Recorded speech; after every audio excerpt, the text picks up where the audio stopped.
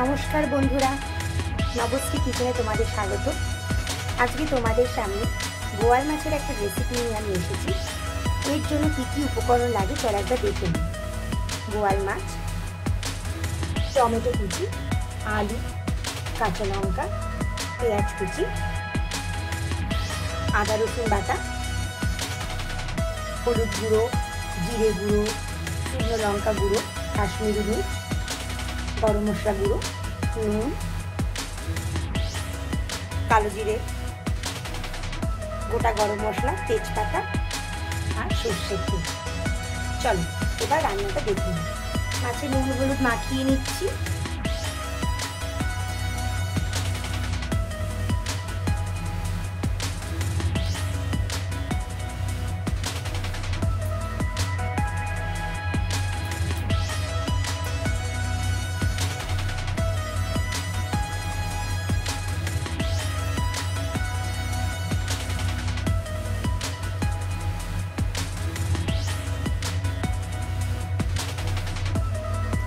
কড়াইতে তেল গরম হয়ে গেছে। এবার মাছের পিসগুলো একটা করে দিয়ে ভেজে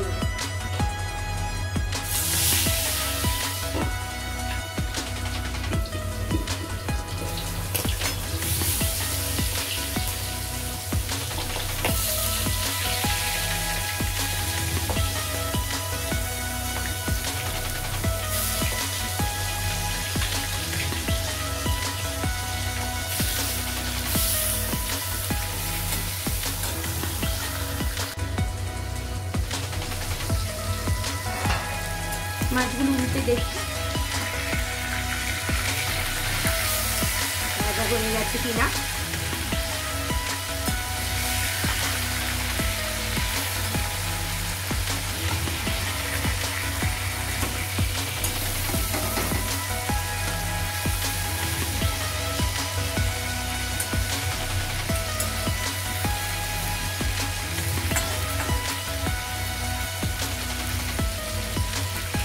আবার ঢেকে দিচ্ছি। এবার দেখে নেব মাছটা ভাজা হয়ে গেছে কিনা।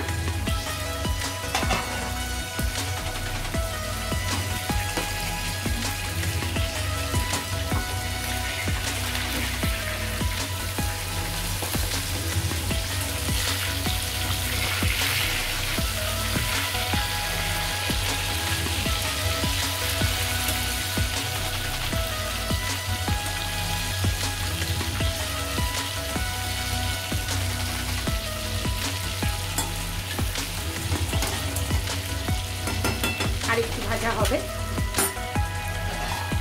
রেখে দিলাম পাঁচ মিনিটের জন্য। দেখে নেব মাছগুলো ভাজা হয়ে গেছে। অন্য বাটিতে তুলি।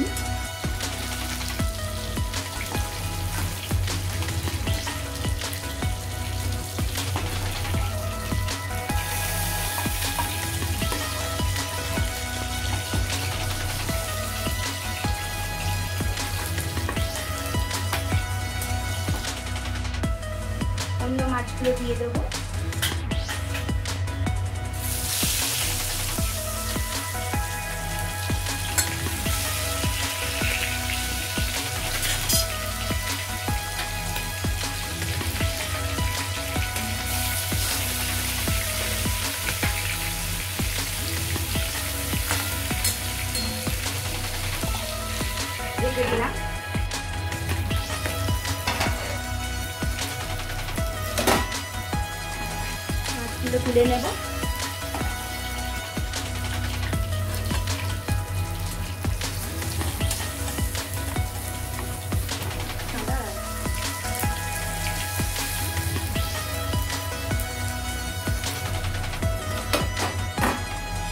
তুলে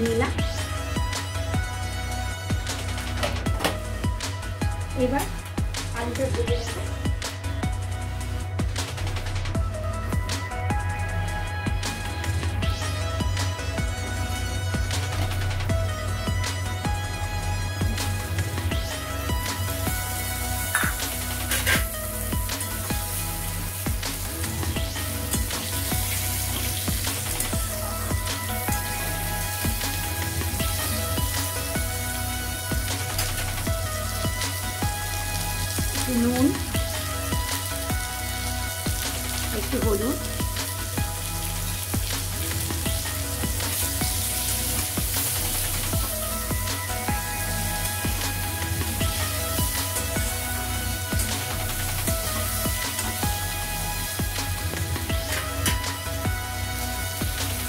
পাঁচ মিনিট ঢেকে রাখব।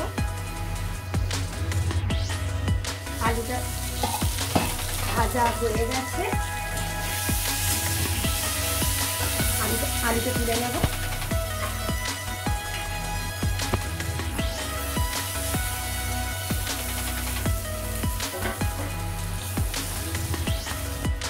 আলু তোলা হয়ে গেছে। এবার কড়াইতে আর একটু তেল দেবো।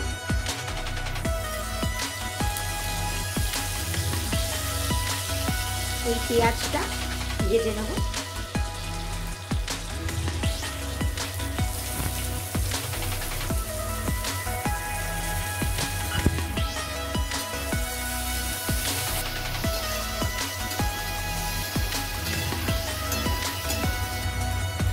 পেঁয়াজ ভাজা হয়ে গেছে।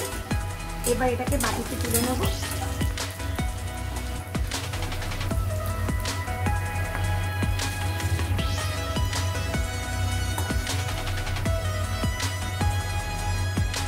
পেঁয়াজটা ভাজা হয়ে গেছে। এবার কড়াইতে ফোড়ন দেব কালো জিরে।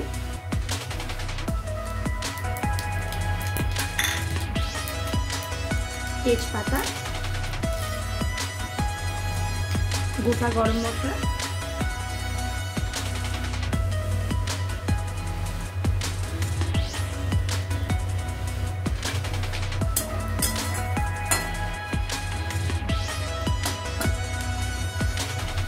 টমেটো কুচি দিয়ে দেবো।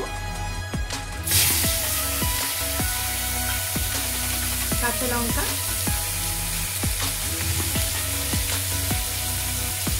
নুন।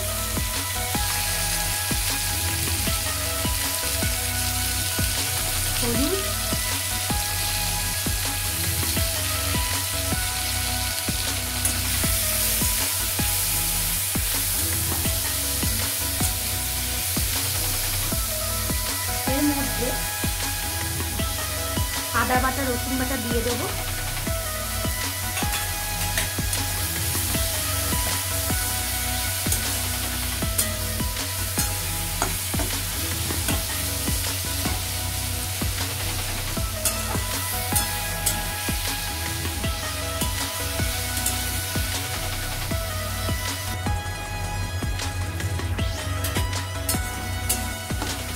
টমেটোটা কষে গেছে। এবার এর মধ্যে এক এক করে জিরে গুঁড়ো, শুকনো লঙ্কা গুঁড়ো, কাশ্মীরি লঙ্কা গুঁড়ো আর একটু হলুদ।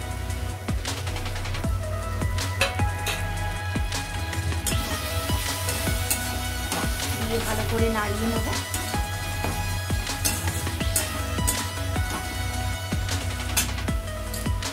জল দেব।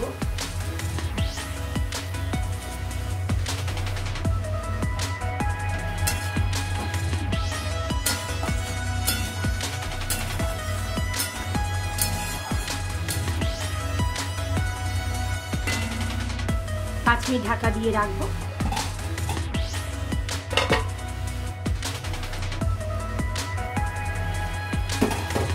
মশলাটা কষে গেছে।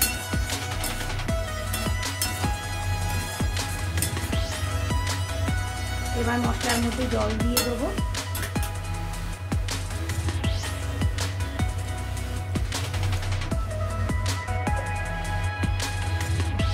ভেজে রাখা আলু দিয়ে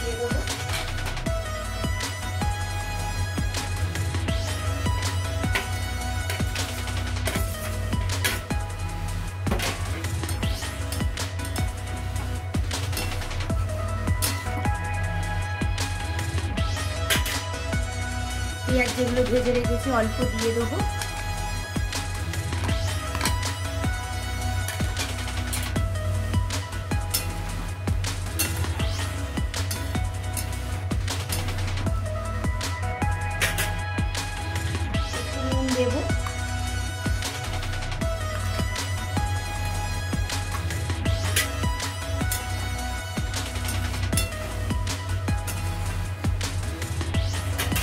দশ মিনিট ঢেকে রাখব, যাতে আলুগুলো সেদ্ধ হয়ে যায়। আলুটা সেদ্ধ হয়ে গেছে কিনা একবার দেখে নেব।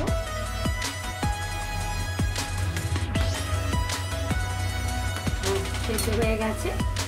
এবার মাছগুলোকে কড়াইতে দিয়ে দেবো।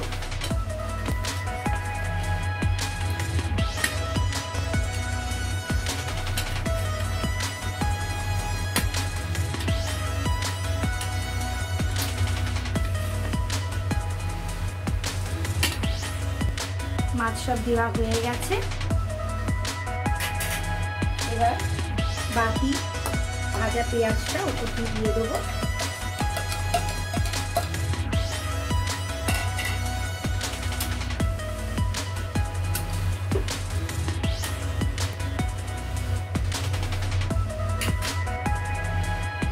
গরম মশলা গুঁড়ো ছিটিয়ে দেবো ওপর দিয়ে।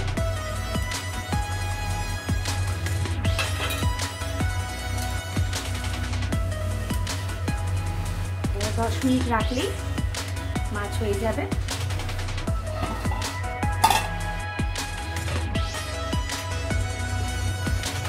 দেখে নেব মাছটা হয়ে গেছে। এবার মাছটাকে আমরা ঢেলে দেবো